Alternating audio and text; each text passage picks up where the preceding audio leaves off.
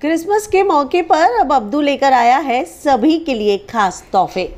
और यहाँ पर अब क्रिसमस के मौके पर जहाँ सभी के घर से कुछ ना कुछ खास आया है, वहीं अब यहाँ पर अभिषेक को मिला है एक खास तोहफा।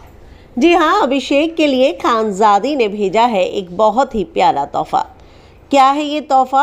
और क्या लिखा है खानजादी ने अपने भेजे हुए इस लेटर में अभिषेक के लिए?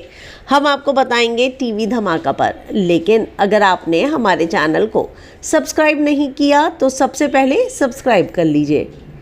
यहाँ पर, जहाँ एक तरफ़ क्रिसमस का जश्न मनाया जा रहा है, वहीं दूसरी तरफ़ हम आपको बता दें कि अब खानजादी ने एक सीक्रेट लेटर जो है, वो भेजा है। जी हाँ खानजादी ने ये सीक्रेट लेटर भेजा है अभिषेक के लिए। और यहाँ पर अभिषेक को इस लेटर में उसने साफ़ साफ़ लिख कर भेजा है कि वो बाहर कर रही है उसका इंतज़ार। यानी कि खानजादी आपको पता ही है कि सोशल मीडिया पर लाइव भी आई थी और लाइव आकर उसने ये साफ़ कहा था कि वो यहाँ पर अभिषेक को मिस कर रही है। और अब उसने ये बात कही है कि वो कर रही है अभिषेक का इंतज़ार।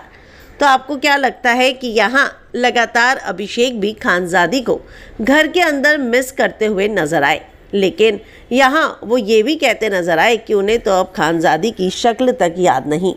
लेकिन यहाँ अब हम आपको बता दें कि खानजादी भले ही घर के बाहर आ गई हो, लेकिन अब उसने एक प्यारा सा मैसेज जो है, भेजा है अभिषेक के लिए अब्दू के हाथ। और इस लेटर में साफ़ लिखा है कि वो अपने गेम को अच्छे से खेले और यहाँ तक कि खानजादी ने यह भी लिखा है कि उसे ये फील हो रहा है कि उसके घर के बाहर जाने के बाद अभिषेक थोड़ा सा उदास लगने लगा है, जिसे देखकर खानजादी को अच्छा नहीं लग रहा। तो आप इस बारे में क्या कहेंगे? कमेंट में अपनी राय लिखकर ज़रूर बताएँ, लेकिन उससे पहले हमारे चैनल को सब्सक्राइब करना ना भूलें।